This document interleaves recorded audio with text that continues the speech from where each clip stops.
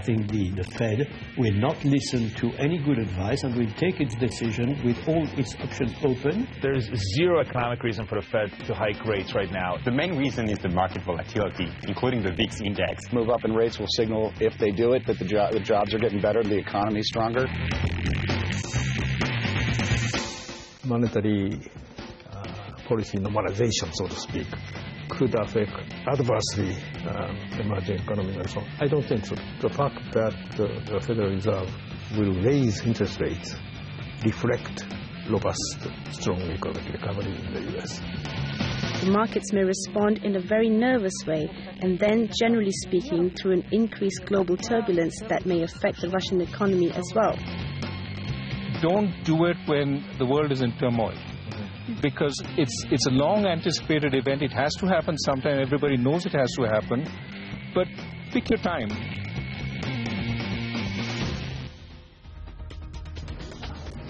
From central bank governors to investors across the world, everyone awaiting with a bated breath as the US Federal Reserve meets to decide on a possible rate hike. Will the Fed increase rates for the first time since 2006? That's our top story tonight. Good evening, I'm Nayantara Rai.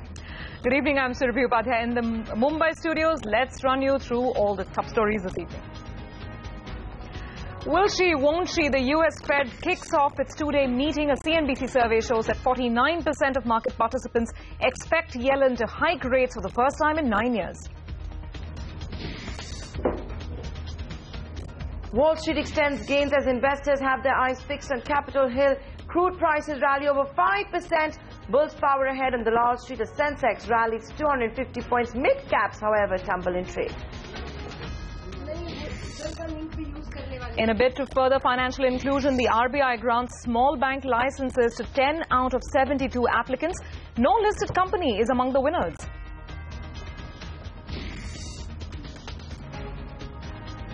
It's a homecoming of sorts for Intelenet India. Private equity giant Blackstone repurchases the Indian BPO arm for 250 million pounds, and that's just four years after it sold it to Serco.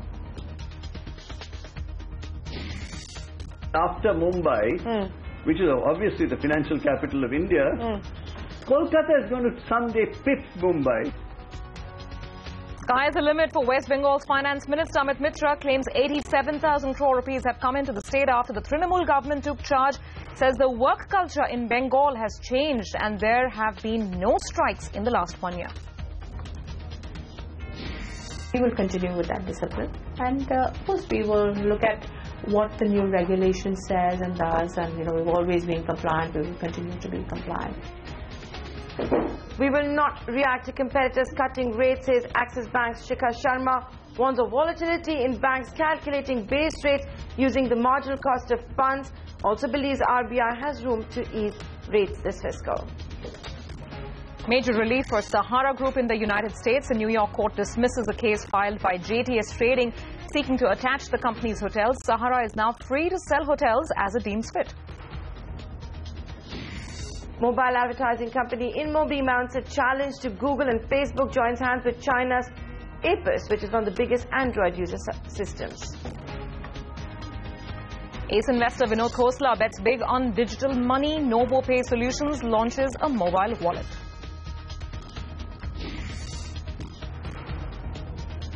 On an Inside Kolkata special, top industrialists of the city speak about the need to position brand Bengal to compete with other states for investments. We take Inside Kolkata in just a bit, but first up, our top story tonight. In a bid to further financial inclusion, the RBI has handed out in-principle approvals for 10 players to start a small bank. This is out of the 72 applicants that were in the fray. We should point out, no listed company has managed to bag a license. Lata Venkatesh joining us with that story. Lata, you know, who are the winners and what is this going to mean for the banking industry? Well, uh, the, most of the winners have been microfinance companies, uh, except I guess one or maybe two. O Financiers uh, from Jaipur is an NBFC which gives a lot of tractor loans and SME loans. Uh, uh, the capital local area bank, Jalandhar, also probably gives slightly larger loans. But the remaining eight are all clearly microfinance companies. We spoke to six of the remaining eight, and all of them had a ticket size of uh, 12,000 to 18,000 per loan. So clearly microfinance companies. Now, uh, that may not have been the only aim of the Reserve Bank, though reaching out to unbanked areas was one very important criteria. Uh, uh, criterion. The others was the ability to find the initial capital, the status of their ownership, uh, whether there was too much of foreign ownership, uh, as well uh, the other things, financial soundness, proposed business plan, the fit and proper status. I guess a lot of NBFC companies, uh, or at least some of them, would have, you know, some perhaps reports from other regulators, probably investigative agencies, probably tax agencies for, you know, not for having flouted some rule or the other. And uh, the, an important factor, according to the Reserve Bank press releases, their ability to reach into unbanked areas and serve underserved and unserved sections of the population. So uh, clearly that is where all the uh, mi uh, microfinance companies probably qualified. Uh, well, uh, we, I think, have one of the um, winners joining us. we are being joined by Sanjay Agarwal, the Managing Director of O Financiers. Uh, Mr. Agarwal, uh, good evening to you. Yeah. good evening, ma'am. Uh, so can you tell us a little about yourself? Yeah, just AU Financiers. AU Financiers, I'm sorry. Right. okay, AU Financiers, uh, what is your main line of uh, businesses? What is the total loan outstanding and average loan ticket size? So, ma'am, uh, thank you so much. And first of all, thank you so much to RBI and, you know, Ministry of Finance for, you know, allowing us to become a bank. And, you know, we are a Jaipur-based headquarter NBFC. It's a 20-year-old company.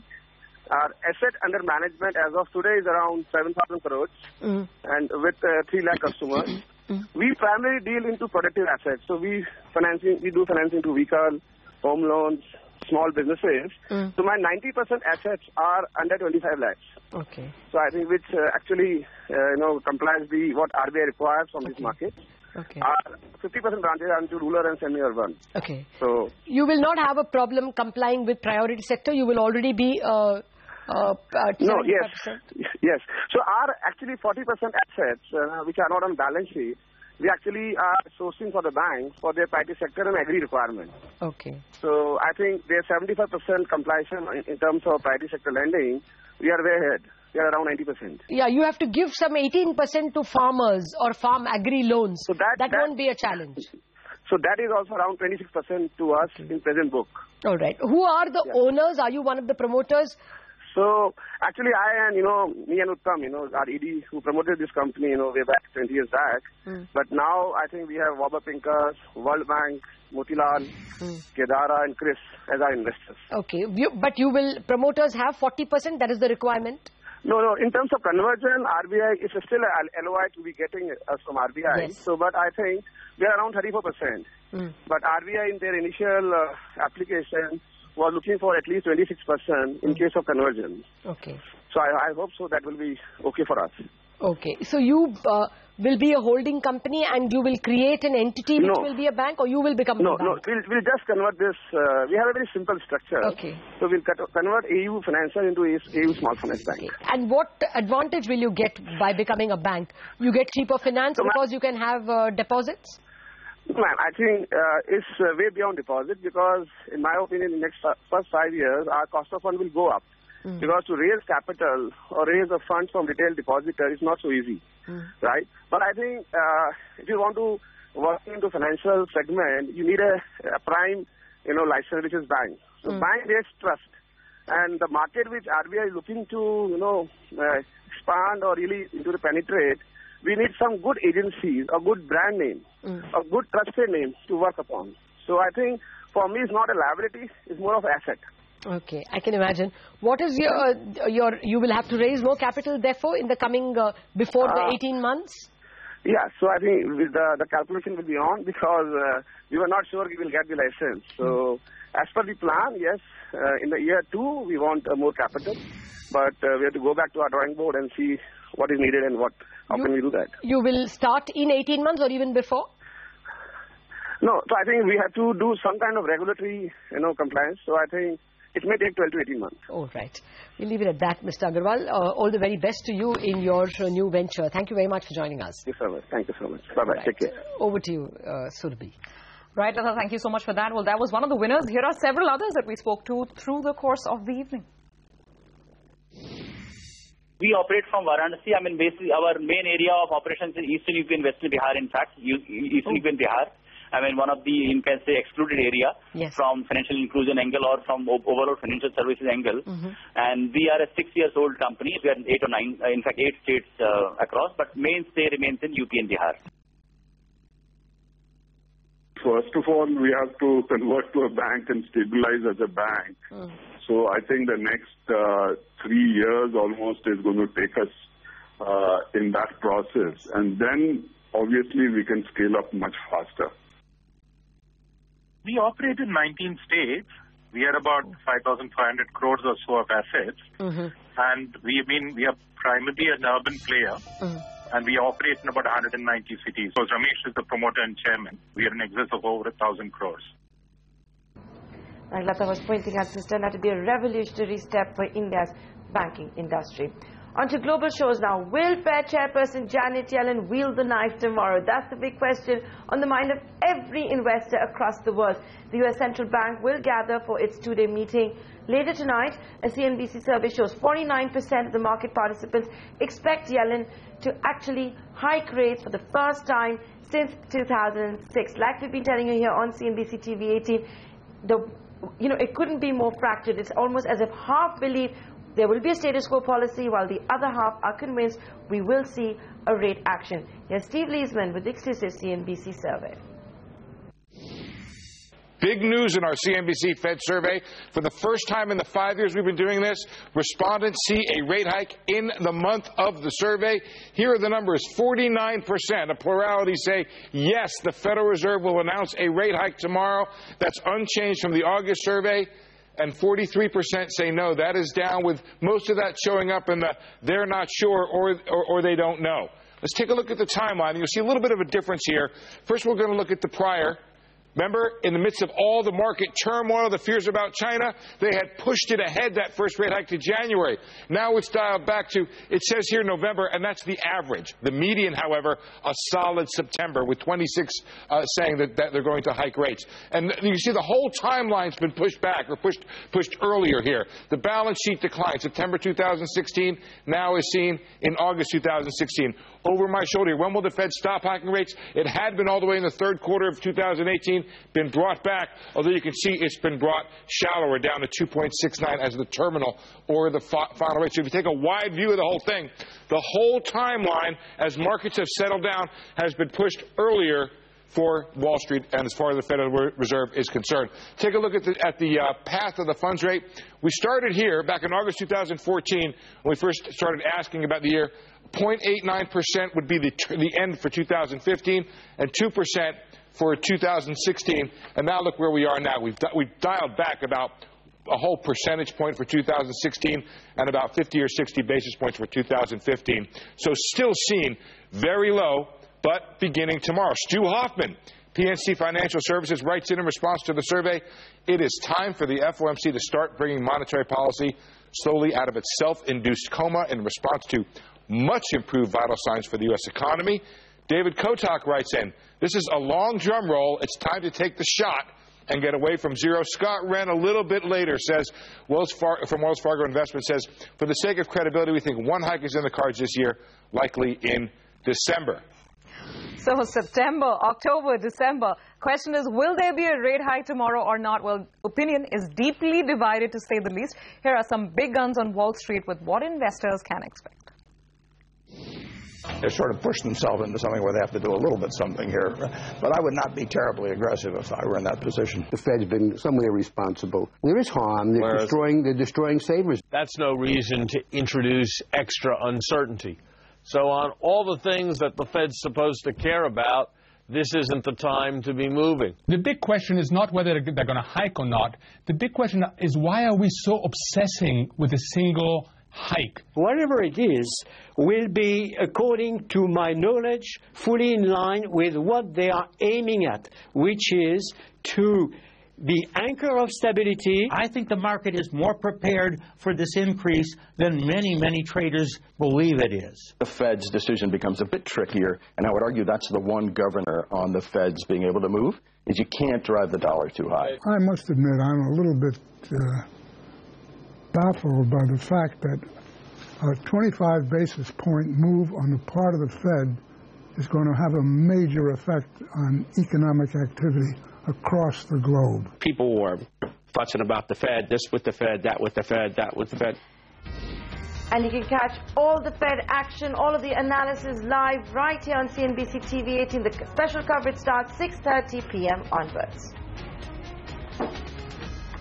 And ahead of the Fed decision, we should tell you that crude prices are rallying. They're up by almost 5%. And not just because the U.S. Fed is likely to take a decision tomorrow on a rate hike, but also because the, Inter uh, the uh, International Energy Agency has come out with a report saying the U.S. inventories have dropped by 2 million barrels. In reaction to all of those developments, you have Brent crude inching back towards $50 a barrel. It's up, like I said, almost by 5%. NYMEX crude doing even better, trying to breach that $47 barrel as we speak at the moment. And as a result of that, you've seen energy stocks rising by over 2%.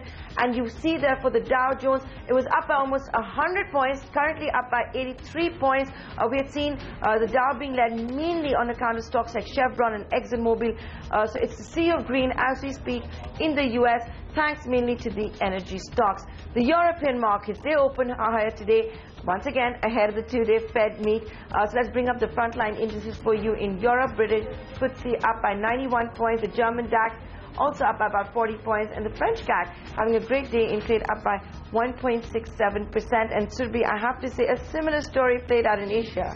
Oh, absolutely, Nantara. The rally really began with Asia, with all the major indices in the region rallying quite smartly. Be it the Shanghai Composite, which gained close to 5%, or the Nikkei, which gained close to a percent in trade. All of those markets ended the day with some very sharp gains as investors were awaiting the outcome of that all-important FOMC meeting. Back home, bulls are a picture of optimism as well ahead of that crucial rate announcement by the U.S. Federal Reserve. Blue chips rallied quite sharply today, but volumes did remain thin, so that was a bit of a dampener. The Nifty gained 70 points and is now just a whisker away from the 7,900 mark. The Sensex surged over 250 points to move closer to the 26,000 level. Midcaps, however, were trading quite uh, weak and they were on a different planet altogether, coming under pressure with that particular index down about 90 points in trade. Moving on to some other action, it's private equity giant Blackstone's largest investment in the Indian IT sector till date. In a dramatic twist, the PE giant has bought back a part of Intelenet BPO business that it itself had sold out to UK-based Serco three years ago. Kritika Saxena explains the rationale behind this pot boiler of a deal.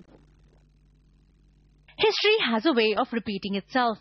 BPO firm Intelenet is back with Blackstone, having sold the company for 385 million pounds in 2011. The private equity major has now bought it back for 250 million pounds. Here's the background behind the dramatic buyout. In 2007, Blackstone bought over BPO player Intelenet from HDFC and Barclays. Four years later, the PE giant sold the firm to UK-based BPO service provider Serco for 385 million pounds. The deal is expected to be wrapped up by December 2015, but Blackstone is buying back only a part of the business it sold.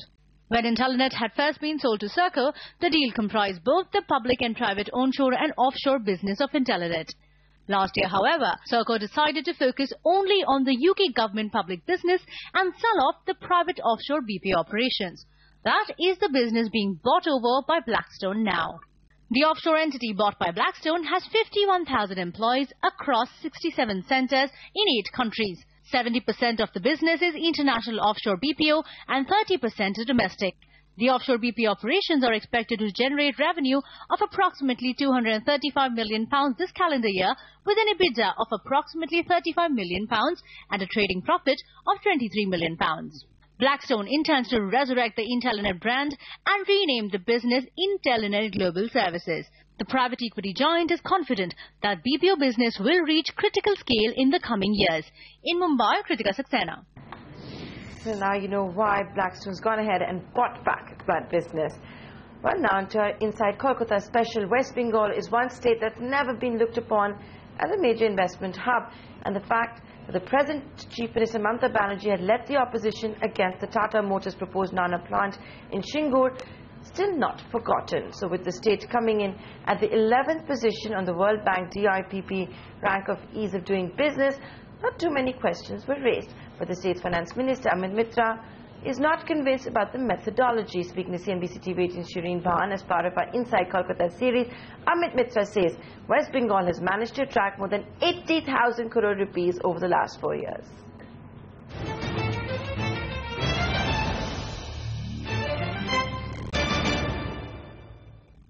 growth in infrastructure, uh, it's phenomenal, so I have to read you the exact number. Say, take, for example, state plan expenditure, which goes into various forms of things that the industry uses.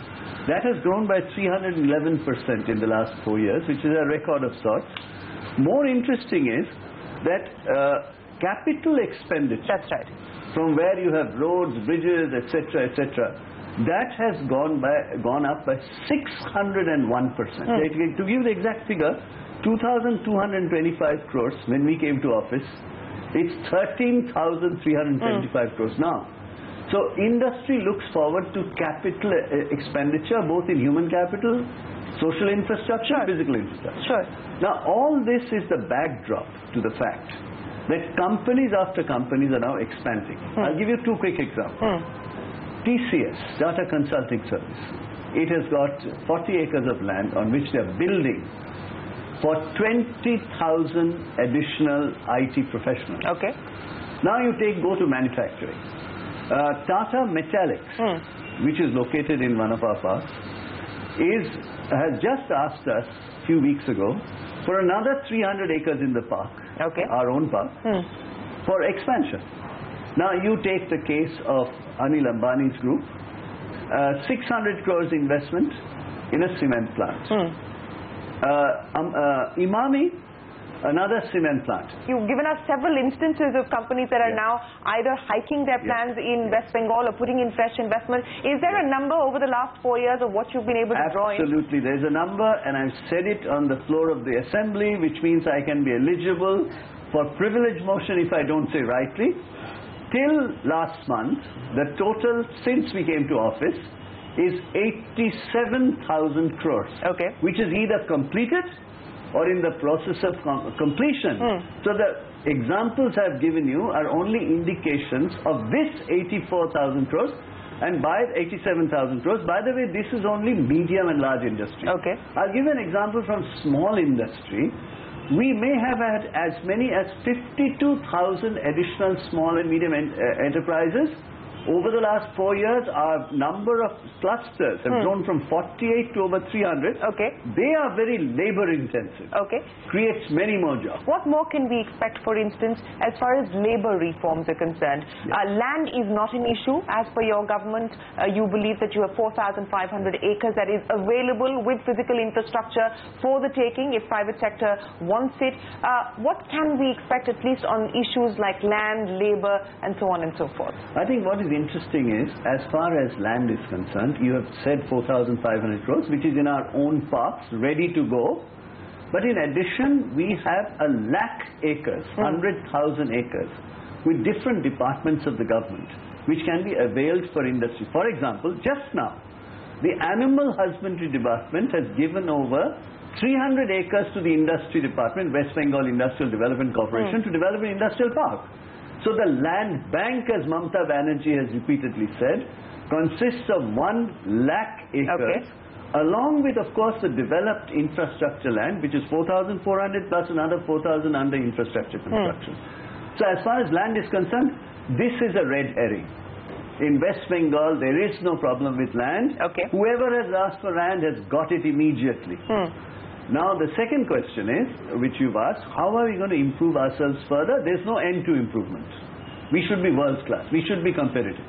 You'll be happy to know that in a month or month and a half or so, you will see something which I'd like to keep as a mystery. Give us some sense of what we can expect. Well, you know, the, the issue is that electronically doing ease of business. Uh, I think your viewers would like to understand that when somebody applies to the industry ministry, Clearances essentially come from non-industry. That's right. So you have the environment ministry, you have irrigation, you have fire, you have all kinds of uh, uh, departments. Power, for example, you have to provide power. Water, you'll have to provide. All these clearances come from other departments. Yeah. Let me now talk to you about the focus areas. And you've put together a bunch of sectors that the government believes it wants to attract investment into. Urban infrastructure and housing, food processing, horticulture, MSME and textiles, IT.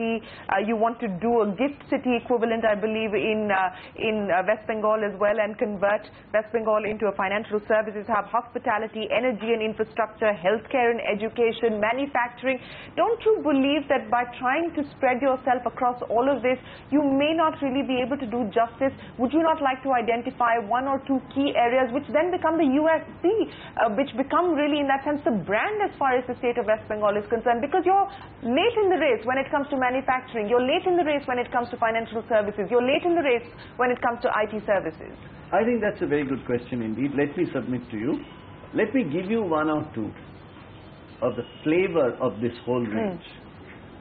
First, we have just announced six townships entirely on government lands. Okay. Each township has a theme.